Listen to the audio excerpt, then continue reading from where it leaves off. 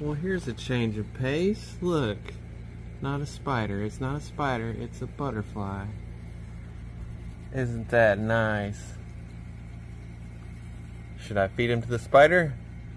Alright, so this butterfly is towards the end of its life. So we might as well see if we can feed the spider.